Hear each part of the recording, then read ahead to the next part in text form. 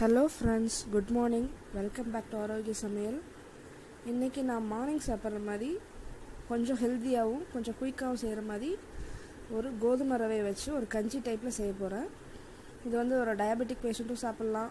நார்மலாக டயட்டில் இருக்கிறவங்களும் சாப்பிட்லாம். இல்லை ரெகுலர் பிரேக்ஃபாஸ்ட் ஒரு சேஞ்சுக்கு சாப்பிட்னாலும் சாப்பிட்லாம். அதுக்கு நான் ஒரு முக்கால் கப்பு உடச்ச கோதுமை ரவை எடுத்திருக்கேன். அதுக்கு ஒரு ரெண்டு டேபிள் ஸ்பூன் அளவுக்கு பாசிப்பருப்பு. இவ்வளோ தான் இதுக்கு தேவை. இதுக்கப்புறம் நம்ம இதை வேக வச்சுட்டு தாளிக்க வேண்டியதுதான். இப்போ எப்படி செய்யலாம்னு பார்க்கலாம். கேஸ் ஆன் பண்ணிட்டு ஒரு ப்ரெஷர் குக்கர் வச்சுக்கோங்க. நீங்கள் ரொம்ப குடிக்கிற மாதிரி தண்ணியாக வேணும்னா ரவை சைஸ் சின்னதாக எடுத்துக்கோங்க. சம்பா ரவை இது. இல்லை கொஞ்சம் ஸ்பூனில் எடுத்து சாப்பிட்ற மாதிரினா நீங்கள் கொஞ்சம் பெரிய சைஸ் ரவையாக எடுத்துக்கோங்க. நம்ம விருப்பம்தான் அது. எது வேணாலும் எடுத்துக்கலாம். ஸோ இப்போ நல்லா குக்கர் ஹீட் ஆகிட்டுருக்கு இந்த வாசனைக்காக மட்டும்தான் நான் வந்து பாசிப்பருப்பு போடுறேன். கொஞ்சம் டேஸ்ட்டும் நல்லாயிருக்கும். ஃபஸ்ட்டு நம்ம இதை வெறுமனை வறுத்து எடுத்துக்கலாம். ரவையும் பாசிப்பருப்பும். ஒரு முக்கால் கப் அளவுக்கு கோதுமை ரவையும் ரெண்டு டேபிள் ஸ்பூன் அளவுக்கு பாசிப்பருப்பு போட்டு இதை வெறும் பாத்திரத்தில் வறுத்து எடுத்துக்கலாம்.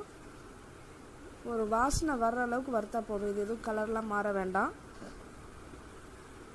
கோதுமை ரவையும் பருப்புலேருந்தும் ஒரு வாசனை வர அளவுக்கு வறுத்துக்கோங்க. வறுத்துட்டு நம்ம இதை தனியாக ப்ரெஷர் குக் பண்ணிக்க போகிறோம் அதுக்கப்புறம் கொஞ்சம் மசாலா ஆட் பண்ணிட்டு இதை நம்ம சர்வ் பண்ண போகிறோம் இது அதிகமான மெக்னீஷியம் இருக்குது ஃபைபர் ஜாஸ்தி இருக்குது ஸோ டயட்டில் இருக்கவங்கலாம் வந்து நீங்கள் ஒரு பவுல் சாப்பிட்டீங்கனாலே உங்களுக்கு நல்ல ஃபில்லிங்காக இருக்கும். உங்களுக்கு ரொம்ப ஹெல்த்தியும் கூட. காலையில் அவசரமாக நீங்கள் சாப்பிட்டு போக முடியாட்டி கூட நீங்கள் இதை பேக் பண்ணி கூட எடுத்துகிட்டு போகலாம் ரொம்ப திக்காக கட்டி ஆகாது நீங்கள் செய்கிற அளவுக்கு அப்படியே தான் இருக்கும். நல்லா வ வறுத்தாச்சு. ரொம்ப பொரியிற அளவுக்குலாம் வறுத்துறாதீங்க. நார்மல் வாசனை வர அளவுக்கு வறுத்தா போதும்.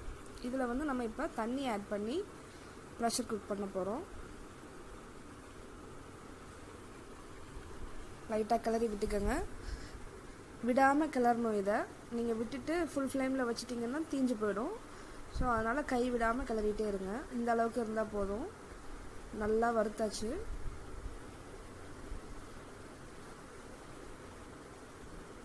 இதில் நீங்கள் ஒன் ஒரு ஒரு கப்பில் இருந்து நீங்கள் ரெண்டு கப் அளவுக்கு தண்ணி ஊற்றிக்கலாம் பார்த்தீங்கன்னா நான் முக்கால் கப்புக்கு வந்து ஒரு ஃபுல் கப் அளவுக்கு தண்ணி ஊற்றிருக்கேன்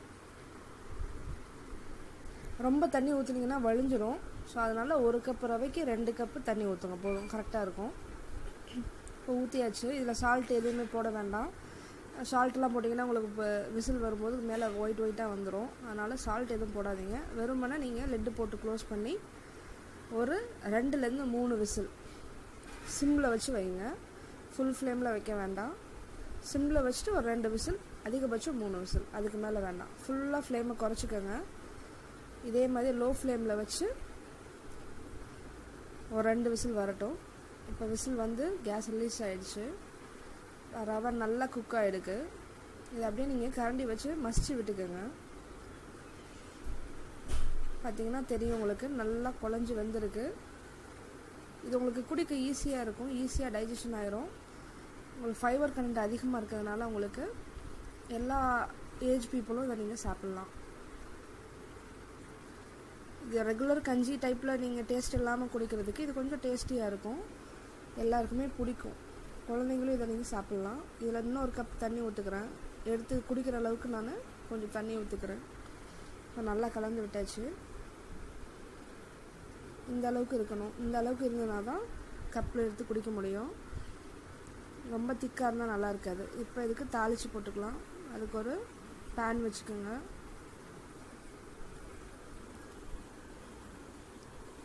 இதுக்கு நீங்கள் எண்ணெய் ஊற்றிலாம் வதக்க வேண்டாம். ஜஸ்ட் ஒரு கால் டீஸ்பூன் அளவுக்கு நெய் ஊற்றிக்கோங்க நெய் வந்து குட் ஃபேட்டு தான். ஸோ அது ஒன்றும் பண்ணாது. நீங்கள் ஒரு நாளைக்கு ஒரு ஒரு டீஸ்பூன்லேருந்து ஒன்றே கால் டீஸ்பூன் அளவுக்கு நெய் யூஸ் பண்ணிக்கலாம். இப்போ பேன் நல்லா சூடாகணும்.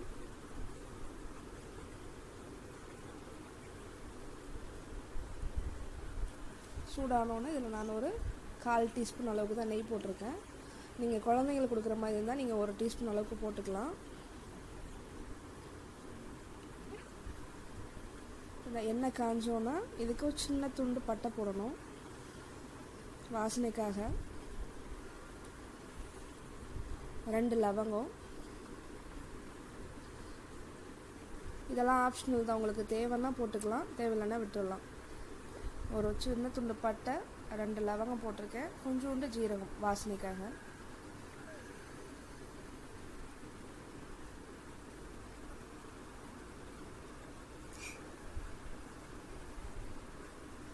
நல்லா பொரிஞ்சிருச்சு. இப்போ பொடியாக கட் பண்ணியிருக்க வெங்காயம்.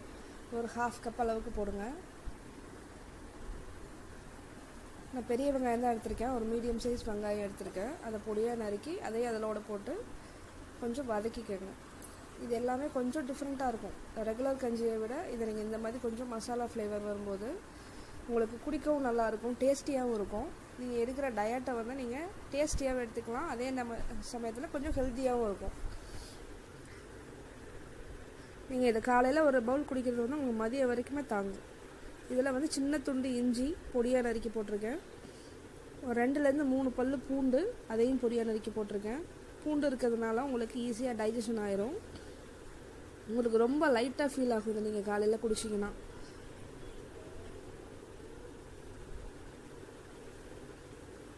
எப்போவுமே நம்ம சாப்பிட்ற ரெகுலர் இட்லி தோசை பொங்கல் இந்த மாதிரி இருக்கிறதுக்கு கொஞ்சம் டிஃப்ரெண்ட்டாக இருக்கும்.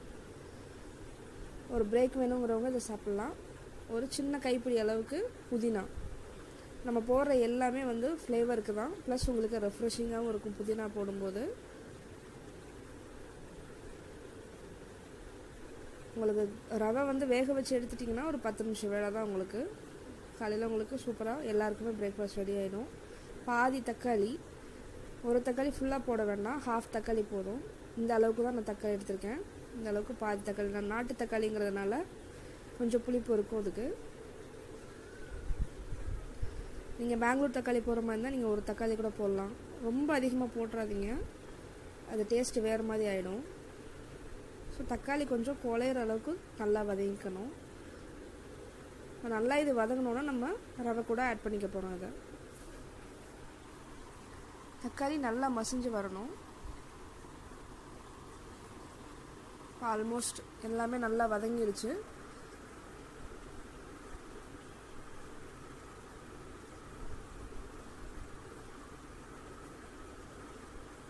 இப்போ நம்ம ரெடியாக மிக்ஸ் பண்ணி வச்சுருக்க கஞ்சியோட நம்ம இதை ஆட் பண்ணிக்க வேண்டியதான் இதை வந்து நீங்கள் சூடாக சர்வ் பண்ணும்போது நல்லாயிருக்கும். கொஞ்சம் வாமாவும் குடிக்கலாம்.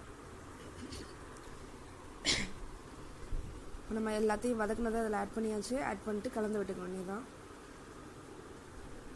இது கண்டிப்பாக ட்ரை பண்ணி பாருங்கள் உங்களுக்கு எல்லாருக்குமே இந்த டேஸ்ட் ரொம்ப பிடிக்கும். நம்ம எப்போவுமே ரெகுலராக இந்த கோதுமை வச்சு வந்து நம்ம வெறும் நம்ம தாலியா மாதிரி பண்ணிகிட்ருக்கோம் வெறுமனை நம்ம உப்புமா டைப்பில் இல்லை பொங்கல் டைப்பில் இந்த மாதிரி பண்ணிகிட்ருக்கோம் அதை விட இது கொஞ்சம் சேஞ்சாக இருக்கும். நல்லா கலந்து விட்டாச்சு. இன்னும் நம்ம இதில் உப்பு மட்டும் ஆட் பண்ணல. இதுக்கு தேவையான அளவு உப்பு ஆட் பண்ணிக்கணும். ஒரு ஹாஃப் டீஸ்பூன் அளவுக்கு போதும். இந்த அளவுக்கு இருந்தால் தான் உங்களுக்கு எடுத்து சாப்பிட கரெக்டாக இருக்கும். கன்சிஸ்டன்சி மட்டும் அவங்க உங்களுக்கு பிடிச்ச மாதிரி வச்சுக்கோங்க. இப்போ தேவையான அளவு உப்பை ஆட் பண்ணிட்டேன் நான். நல்லா கலந்து விட்டாச்சு. அவ்வளோதான் இது ரொம்ப கொதிக்கலாம் வேண்டாம். ஆல்ரெடி நம்ம ஹீட்டாக தான் இருக்குது. ஸோ நல்லா மிக்ஸ் பண்ணிவிட்டு நம்ம சர்வ் பண்ணிட வேண்டியதான் இந்த அளவுக்கு இருக்கணும். நீங்கள் இன்னும் பொடி ரவை போட்டிங்கன்னா உங்களுக்கு டம்ளரில் ஊற்றி குடிக்கிற அளவுக்கே இருக்கும்.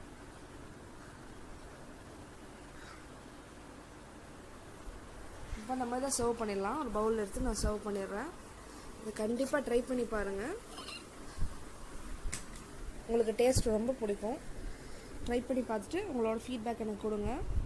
நம்ம சேனல் இது வரைக்கும் சப்ஸ்கிரைப் பண்ணாதவங்க இருந்தீங்கன்னா மறக்காமல் சப்ஸ்கிரைப் பண்ணுங்கள் இதுக்கு மேலே நான் புதினா கொஞ்சம் கார்னிஷ்காக வச்சுருக்கேன். கண்டிப்பாக ட்ரை பண்ணுங்கள் உங்களுக்கு கண்டிப்பாக பிடிக்கும். நான் நெக்ஸ்ட் ரெசிபியோடு உங்களை மீட் பண்ணுறேன் Eat healthy, stay healthy. Bye.